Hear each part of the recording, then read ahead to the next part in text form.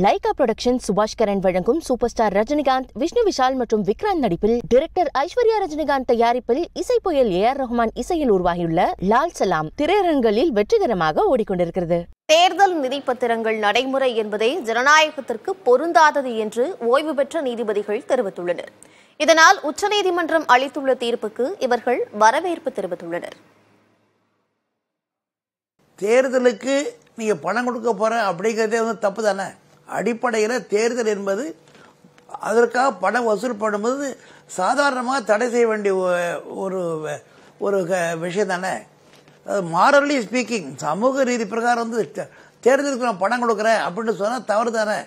அதை சட்டபூர்வம் பண்ணிக்கலாம் அதனால் க- அது நீங்கள் பாண்டு மூலமாக வாங்கிக்கலாம்.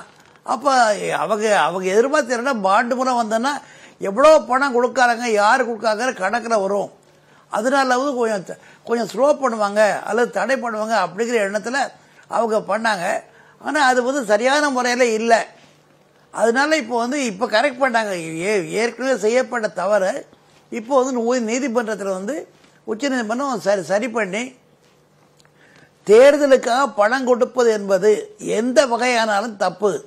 அதை நீங்கள் பாண்டு மூலமாக கொடுத்தாலும் சரி அது வேறு வகையில் கொடுத்தாலும் சரி அது ஜனநாயக உண்மையான ஜனநாயகத்துக்கு அது பொருந்தாது.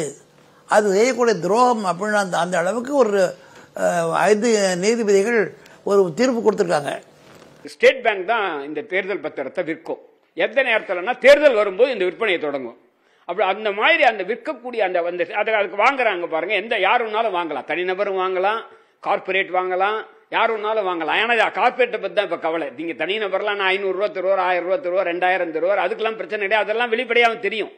நீங்க ரெண்டாயிரம் ரூபாய் இதுக்கு முன்னாடி இருபதாயிரம் ரூபா இருந்தது இருபதாயிரத்துக்குள்ள இருந்தா சொல்ல வேண்டான்ட்டு அதனால பதினெட்டாயிரம் பதினெட்டாயிரம் பதினெட்டாயிரம்ட்டு மல்டிப்ளை பண்ணிப்பாங்க.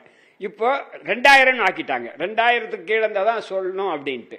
அதனால கோடிக்கணக்கான ரூபாயை வந்து யார் கார்பரேட்லாம் வாங்கும்போது இந்த பணம் நிதி உதவி இந்த எலக்டோரல் பாண்டு இருக்கும்போது அதை வந்து யாருக்கும் தெ- தெரிவிக்க வேண்டாம். நீங்கள் தகவல் அறியும் சட்டத்தின் கீழே கேட்டால் கிடைக்காது. பொதுமக்களுக்கும் கிடைக்காது.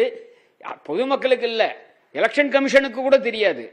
எலெக்ஷன் கமிஷன் மட்டும் அல்ல இன்கம் டேக்ஸ் கூட தெரியாது அப்படின்ற ஒரு ஒரு ஒரு- அப்படி ஒரு மோசமான நிலையை ஒரு டிரான்ஸ்பரன்சிம்பாங்க வெளிப்படைத்தன்மையை முழுக்க முழுக்க அடித்த தன்மையை இது உண்டாக்குச்சு. அதனால் அதை எதிர்த்து பல சிவில் சொசைட்டி அரசியல் கட்சியில் சிபிஎம் மார்க்சிஸ்ட் கம்யூனிஸ்ட் கட்சி வழக்கு போட்டதாக அறிகிறேன். இவங்கெல்லாம் இந்த தொடர்ந்து ரெண்டாயிரத்தி பதினேழுல இருந்து கேட்டுட்டு இருக்காங்க அதை உச்சநீதிமன்றம் இன்னைக்கு அந்த அப்படி ஒரு ஸ்கீம் வந்து முறையற்றதுன்னு சொல்லி சொல்லி இருப்பது வரவேற்கத்தக்கது. லைகா புரொடக்ஷன் சுபாஷ் கரன் வழங்கும் சூப்பர் ஸ்டார் ரஜினிகாந்த் விஷ்ணு விஷால் மற்றும் விக்ராந்த் நடிப்பில் டிரெக்டர் ஐஸ்வர்யா ரஜினிகாந்த் தயாரிப்பில் இசை புயல் ஏ ஆர் ரஹ்மான் இசையில் உருவாகியுள்ள லால் சலாம் திரையரங்களில் வெற்றிகரமாக ஓடிக்கொண்டிருக்கிறது.